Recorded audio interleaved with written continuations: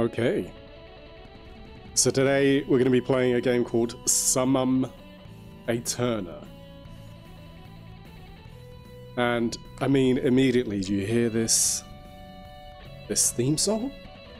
They're clearly trying to capture some uh, Castlevania fans, and so far they're doing a good job. What's this stuff in the corner? Hmm, okay, so I believe it is a sequel, or prequel, sorry, to Aeterna Noctis, which is in that top right hand corner. And I'm guessing that you can click on that and then it takes you to that page.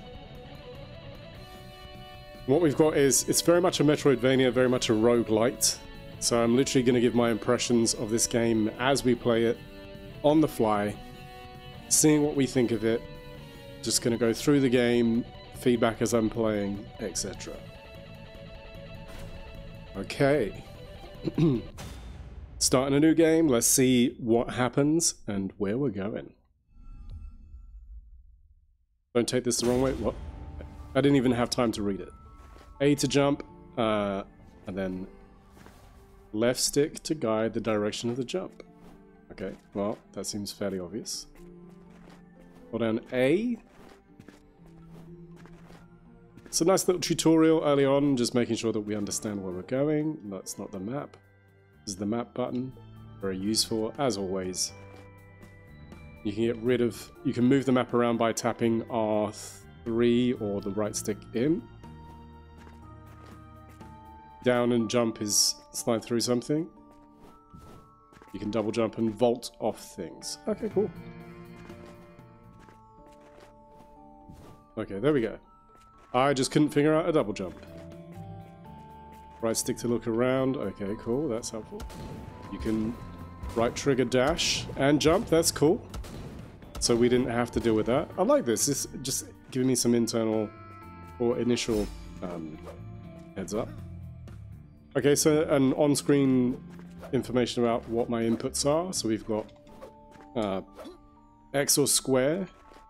I'm playing on a PlayStation pad, so bear with me while I'm trying to figure out which way uh, buttons are. Okay.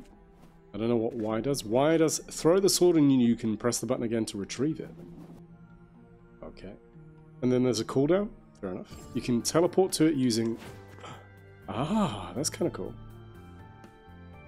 You can bounce on enemies by pressing A and then while in the air using down on the left stick followed by X or square. I'm playing with a PlayStation pad so Have to translate it from my brain.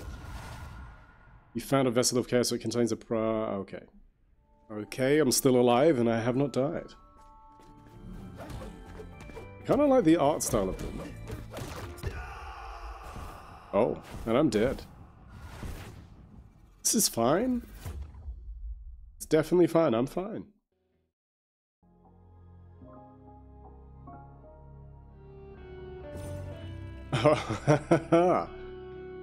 so do get rewards. I've killed an enemy. Okay. Just carrying on. They take place in the same universe, but they count from the cycles between them. Okay. of Time. The Two Crowns Fountain, a tribute to the cursed monarchs. I don't know what these mortals expect from us. They are not our kind. Her luminous majesty didn't stand a chance last time.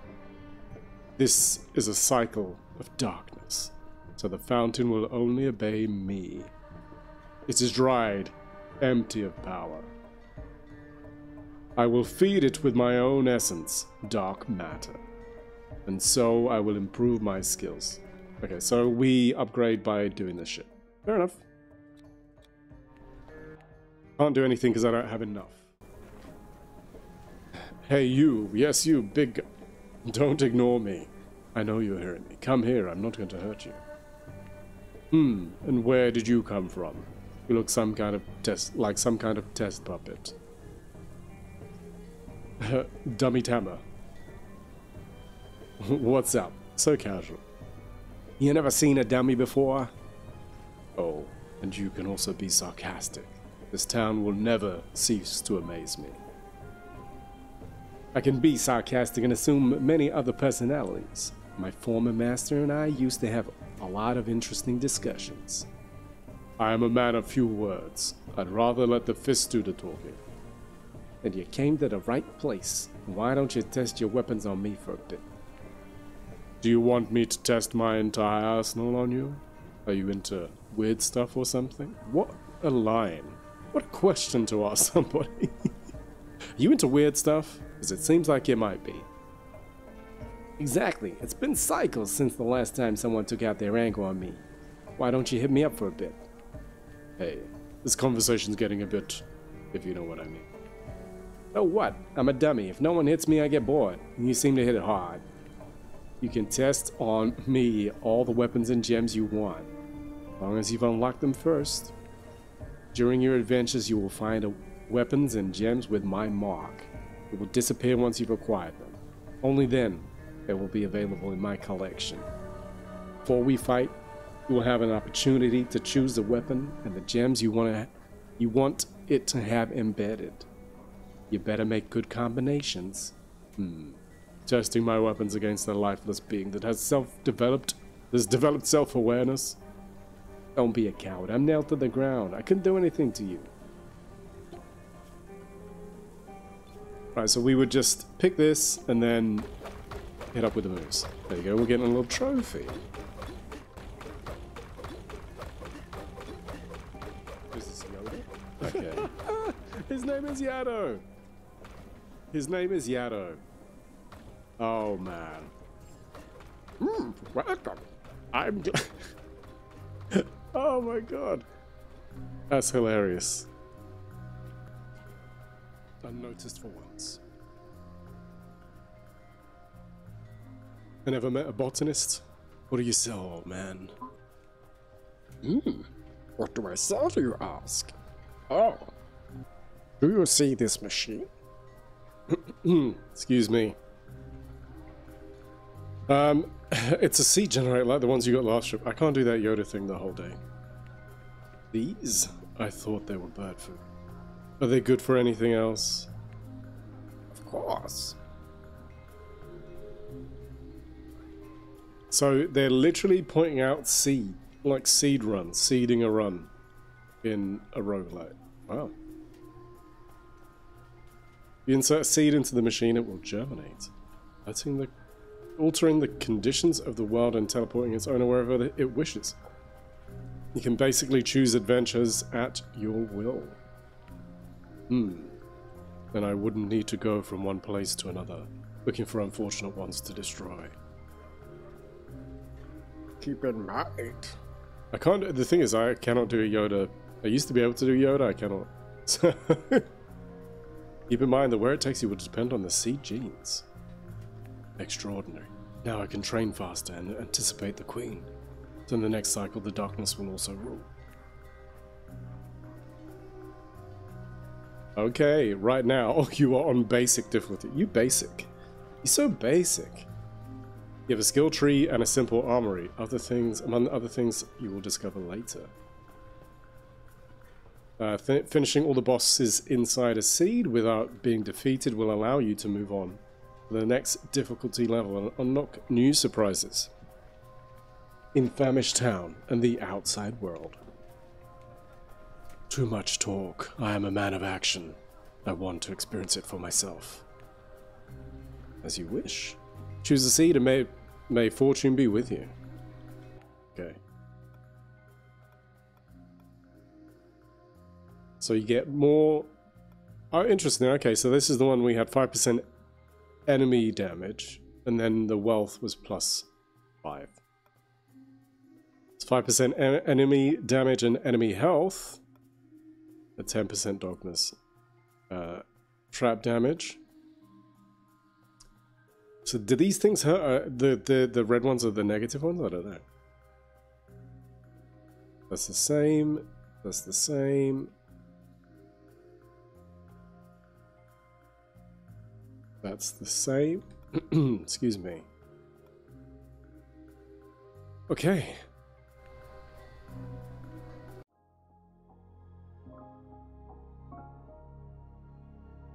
Let's create this world. And we're jumping in. So anything we were just doing, we are no longer doing that now, I guess.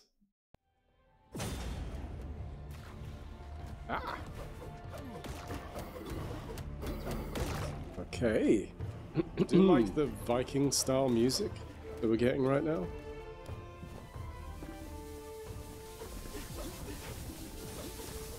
We've unlocked sides. Okay. Something down here. I tell you what, I do like that the, The enemies have changed based on where we are. Uh, we'll go with sword this time. And just see if we do any better. Something is killing my men stationed in the region. I have a sneaking suspicion about who's responsible. The music is really good. I'm enjoying the music in the game. The game looks very pretty. It's very heavily influenced by Castlevania. Damn. I have one health. One health. Now we have guns. Now we have guns.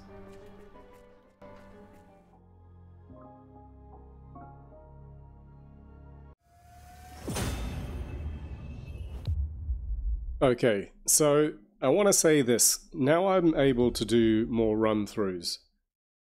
I found that the gameplay loop has become, you know, more interesting, knowing that you can change your weapon in the world, in the seeded world. So you're not necessarily stuck with something if you don't like it. At this point, I've still got the basic weapons, but like I say, managed to find a few unlocks and actually finding a new area here. Never been here before. Got the seed by doing a run previously and then found that we're expanding upon what we're doing. We're starting to learn the best way to clear a room and then subsequently get the chests and things like that and then what upgrades are worth keeping. Pushing towards upgrading health and some of the other things and those will be the next things I get. And you see currently my health is uh, you might not be able to see properly, but it's 110%. 110, and it was considerably lower. So just even that increase has made the gameplay loop better. What I have found is if you know what world you're seeding into, you can actually plan the weapon, because some weapons I actually feel like they're better in different worlds. There are some worlds where you have enemies where it's actually beneficial to have the guns, for example, because the guns provide you a little bit more space. You're not as close to the enemies uh, as you would be with the sword or the scythe. The scythe again offers you slightly different approach. So all of that has been quite good. So overall, I've enjoyed this game. I do think I would probably play it some more. I think you need to give it some time. I do wish that the gameplay loop was a little bit quicker to reward you. Because I think you kind of have to play it for some considerable time. I feel like roguelites there's a balance there that you should expect to see when you play these games or feel. You want to feel like it's worth you going back to play it again. You don't want to feel like you're making no progress for a long time. You want to feel like you're doing better each time. And what I would say is quite early on in the, the loop, it's difficult to feel like you're making any progress because it feels quite punishing. You will potentially be in three rooms out of the whole area, two, three rooms, and then you're dead. And you're like, wait, what? And you might, because of you being in a limited amount of playing, only get a seed for another world, or for that same world, or whatever, rather than feel like you're getting something that will then benefit you. And obviously, like you say, then learning what the enemies do, you know, that helps as well. But overall, I enjoyed this experience. I do think it does a good job. I don't think it does the best job I've seen for roguelites. I think uh, Getsu Fuma Den, which I've mentioned in previous reviews, uh, and I'll actually put a link to that game, It's probably the, the thing that this is closest to. I'll put a link at the end for Getsu, my Getsu review, so you can go and see uh, me playing that, or my Getsu playthrough. Either way, there'll be a link to Getsu. That'll be the video at the end. what I would say is if you're after a roguelite that maybe does something different, this doesn't necessarily do that. But it does, after a certain amount of time, give you a decent gameplay loop that is a lot of fun. And I think there is potential here for lots of stuff that you can do. And it has a lot of chance to be fun. Because I've started to get to a point where I'm clearing out a lot of rooms and I'm almost close to clearing an area. And once you clear an area, obviously you're going to be rewarded by those more upgrades and better weapons and all those kind of things. So at least at this point, I think the more you play it, the more you'll enjoy it. If you've played the previous game, I think then you'll probably enjoy this game. But that's my review. I think if you're a fan of the, the, the previous game, definitely pick this up. If you're a fan of Getsu, pick this up.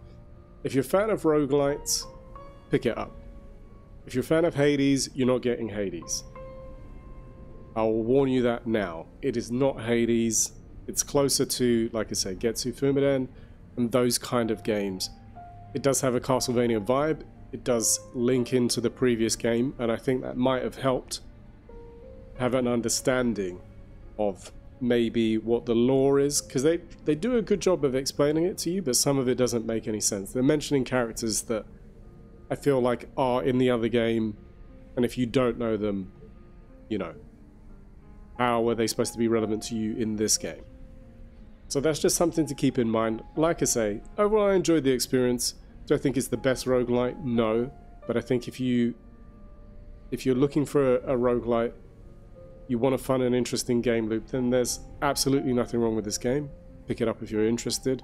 I'll put a link to the Steam page below and I believe it's available on other platforms as well. So I'll put some links below. And yeah, let me know if you are enjoying these. I'm hoping to do some more. I've got some other games lined up for more reviews coming soon. Uh, I want to keep quiet on those just so it can be a bit of a surprise. Anyway, if you enjoyed this video, click on like and subscribe and all of those things so I can continue to do this as it's something I'm a big fan of and um, hopefully bring you more interesting games and find some real gems. Anyway, thank you so much. Goodbye.